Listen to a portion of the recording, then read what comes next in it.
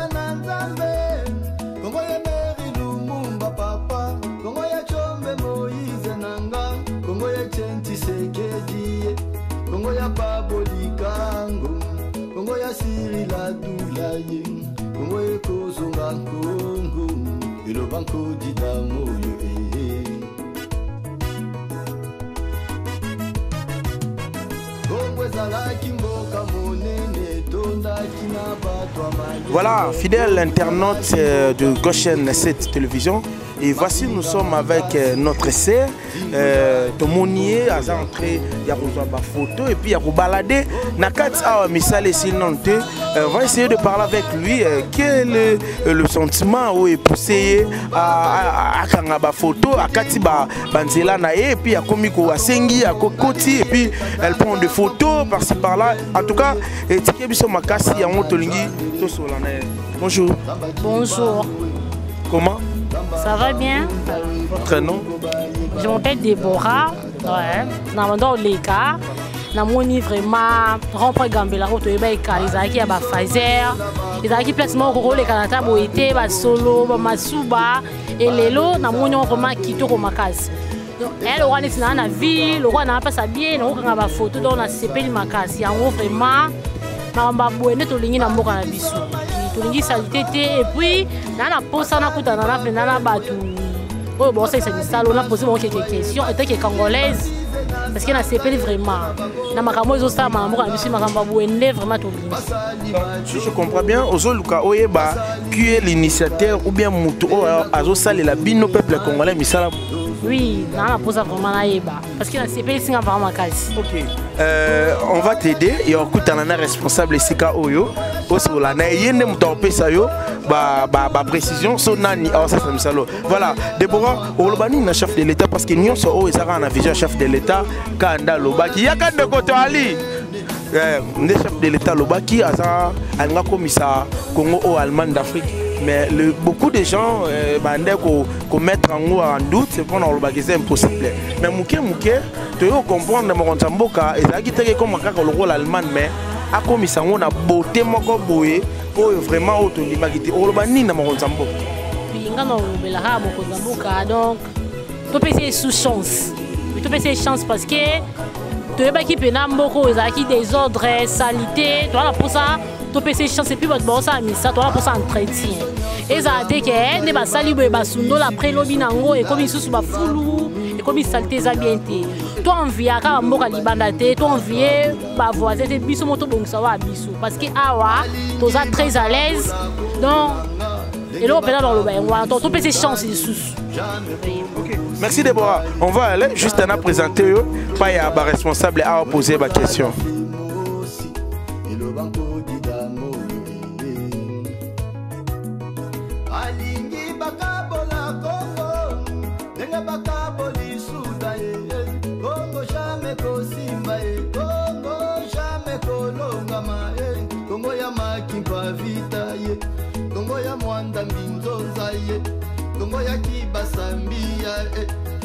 Kongo ekosunga Kongo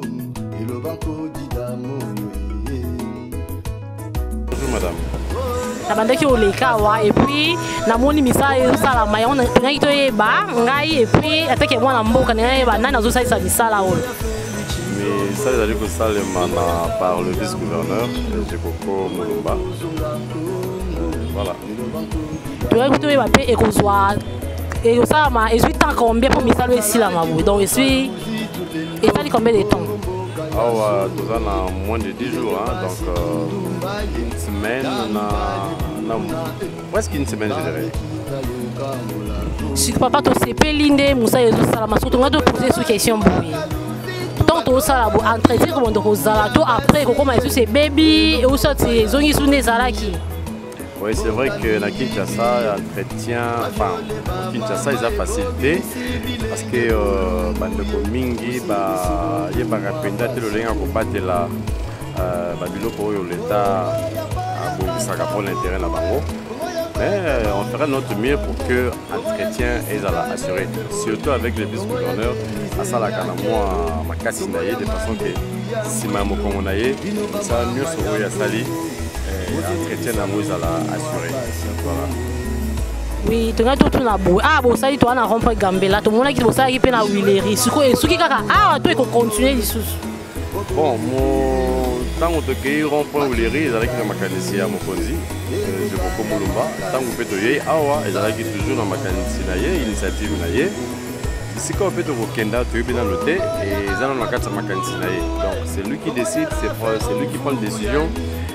epuis biso ekipe tolandi kaka na nsima oyoki bakestion azalaki nango wana merci beaucoup bonjour monsieur bonjour ngai toza bana mboka tomoni misala ezosalama toyai toyeba nanu nkombo nani nkombo nanga monsieur joel jomo ye oza nani naza habitant ya kinshasa naza euh, habitant ya commune ya kasavubu toye kotala ndenge misala esalema parce que les coins carrefour oyo ezalaki ekomaki siège ya bashege siège ya baréparateur ya bamoto ezalaki su kitoko te alors que un endroit pareil ekoki kozala exploité mpona beauté ya, ya commune ya kasavubu oui sikoyo oloba nini mpo toyebi ke eh, congo ezalaka toujours bongo bakoki kobongisa lelo epuis lobi omoni salite ezongi sikoyo entretien nde towana mposa toza na besoin yango bon eloko biso tokosenga eza kaka ke le gouverneur a pensé na kocontinue kosala maintenance donc service après vente ndenge babenga yango ekontinue kozala pelouse oyo ekokauka aveye aske bato bazala en permanence mpona ba bakontinue kosala entretien peut-être akotika relais epai ya bourgmestre ya commune ya kasavubu c'est aussi la beauté de son coin akoki kozwa nini entretien yango comme le bourgmestre ya limete asalaka comme d'autres bourgmestre ok merci beaucoup merci tamisi mbongo na ye moko na posi andimi abongisa mboka place oyo ndeko na nga place oyo totelemi so oyebi ndenge ezalaki yango obeta ata lisolo tokobeta te lisolo te eske mboka ebonga to ebonga te mboka ezobonga yango oyo misala yango ezomonana partout tokei na wileri omoni kitoko toye omoni kitoko donc coup de chapeau wana ndeko jekoko avancement eza wana mboka na biso Eh, sikoyo deuxième question na ngai eza boye sikoyo toloba nini mpo na bana mboka biso bana mboka mpo na entretien esenga kaka bakonzi moto basalama balandela to mpe biso tokoki sala ke ordre ezala oui eloko ya question eza motuna kitoko makasi wema eloko ezosenga ni d'abord na ndeko jekoko nde asali boye omoni congolais ayokaka na fimbu toyebi maladi na biso soki totiki kaka plon kaka boye basene na bango loo bakei lobi tokuta bafaser awa bakomi kosumba awa bakomi kosuba awa ekomi place oyo baosala baosala baventure esenga mpo nini tomonaka nde basali na 20 mai bazwi batie ba magenia to bato ya sécurité bavandi yana basimbi mwa lofimbo omonaka place oyo baregardon bien mais soki kaka tozwi totiki bijo totiki yango kaka boye ndeko na nga tobeta to après deux semaines omona bomake bato bakosumba awa okomona ke masuba bakomi kosuba meme bachasse ya banini ekobwaka mawa donc eloko ngai nakosenga na ndeko jekoko mulumba notre gouve eh, futur gouverneur ya congo wana etalelaka ngai babiye bato batie vraimen mpo na misala kitoko boye mwa bato ya sekirite bazala awa mpo na kolandela basimba mwa fimbo moto nyonso toya na esprit ya kobebisa basala nini batya libanda omonake place oyo esala nini ekobatelama merci mot de la fin ah, mot de la fin na ngai nasepe nde boyambi ngai na émission na bino eza genre baémission ngai mpe nasalaka na chaine na biso mais esali ngai esengo nde bohonore ngai koyamba ngai awa coup de chapeau kaka napesa ata mwa mbote na trois personnes te bao mpe basutenaka na mosusu bakolanda bino mpe na mosusu bakosoutenir bino ya lokola bavie na biso john de london depuis londres ya john de london prêtre ya danger prix nobel ya motema malamu essence vie papa emile kanana depuis belgique vie na nga jean bosco depuis irlande essence vie vie na nga paulin catalin wa kwetu eh, depuis belgique coup de chapeau na yo merci beaucoup sina bino bindeko ya merci bonjour monsieur bonjour kombo nani mohamed kitelo eh, tokoyeba oza nani awa bon naza jardinier oyo omoni so omoni manche a ya rond-point kambenga na rond-point wuleri ezanga nde moto nasala koto etali jardin oui toza soko toyeba boye awa boteli biso bapelouse awa eza te ke oyo ebebaka ebotaka matisi to eza vraiment ya bien non toza na baplace ebele tolonaka pelouse ndeti awa meme na rond-point wuleri soki botali pelouse oyo eza na rond-point wuleri eza le même pelouse eza mpe na ropa gambe eza te pelouse oyo ebota matiti awa ah, nonono eza bongo te sikoyo mpo na entretien bino moko abondo yo osala mpo sosi bosundola yango après tomonaka nde ekoma partout ebebi to bondo olandela bon normalement opose question moko ya bien mais entretien na ndenge tokolona bafere na biso na bapelouse eza na bato bakotikala mpona kosala entretien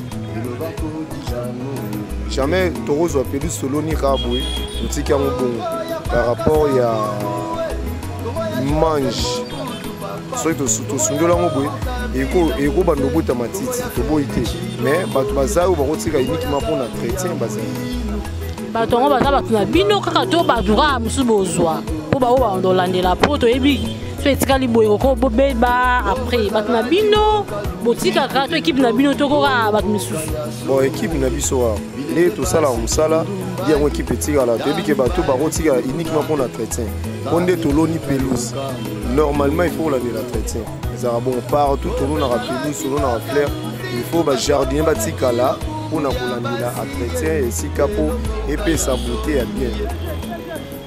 Ouais, tomoni mosala ezali nami tosepeli sikoyo yo entanke eh, yo moto mokonzi a olandeli otie yo sikoyo okoloba nini donc mwa deux mots trois bon message wana opesa eza ke na ndenge image oyo tosali awa eza mpo na mboka en tout cas tobatela yango eza te ke moto nyonso oyebaki rompoint gambela rompoint guleri ndenge ezalaki sali te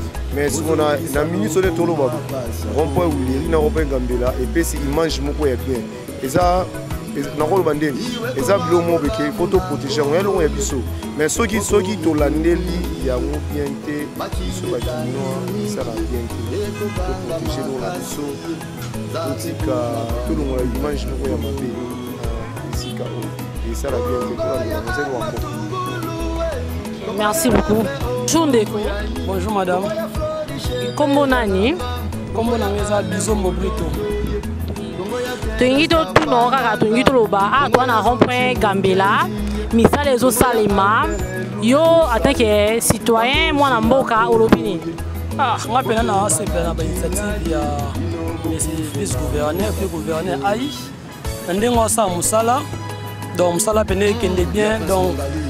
baplace oyo ezalaki baimage na yango ebebaki apesi yango baimage moko babote moko ya kitoko tala rompo wileri soko oleka osepeli meme na butu so oleki wana omona ke non non mosala esalema donc naosepela makasi na initiative na ye alors mpona entretien parce que toyebi mboko ezalaka ke lobi tomona bato baosuba baosala lelo nyonso te mabe oyebi sikoyo etanke mwana mboka osenga nini mpo ah, na ngai mpena oyo nakosenga na pepe congolais tozwa conscience eloko eza important yango wana mpo kozwa motu kosala bainitiative oyo pendant 5 ans oyo toleki initiative oyo etikali jamais koexiste na barompe oyo aotambola totala wileri totala gambela totala bandenge azopose donc eza atraite fo ezala premièrement na babourgmestre oyo bazoza charge ya kotongela bango babiloko ya boye pona koleka mpe na butu na kokanga foto ezali ya image ya de mpo na mboka donc toza kobula yango vivile te eza na centre eza na cité eza na cité to babiloko ya bien boye tomona yango na baville mais tomona yango na bacité donc initiative moko ya bien fo biso moko na tozwa nanu conscience ya kobongisa yango epuis atraite ya bien eza mpo na babourgmestre mpo ye asali akei donc yango wana sikoyo bokoloba nini no mona oyo ata mono ya suka okopesa okoloba nini mpona chef de l'état mpona bato basaleli mosala epe mpona peuple bon premièrement na bana mpona chef de l'état merci beaucoup na confiance oyo apesi monsieur le vice gouverneur jekoko mulumba azala kaka vise te 5 ans oyo ndenge aza na mposa bato batravaille apese 5 ans oyo atravaille yango etake gouverneur titulaire na ai ta ndenge asali siko na titulaire eza ndeni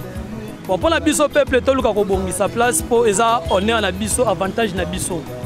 eza avantage na biso totambolaka na basheri tobimaka oyo tokende baville naye na ngai nawi naye na ngai wileri gambe nakangi foto na leki ekomi mpe site mpe bato bakoya bakanga bafoto atraite ça bien ezala donc monsieur le gouverneur gérard jokoko mulumba